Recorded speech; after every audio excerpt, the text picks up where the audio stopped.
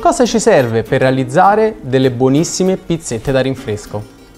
Farina, acqua, sale, zucchero e se anche tu vuoi imparare come fare delle fantastiche pizzette, vai su www.michelincucina e scegli il pacchetto che fa per te.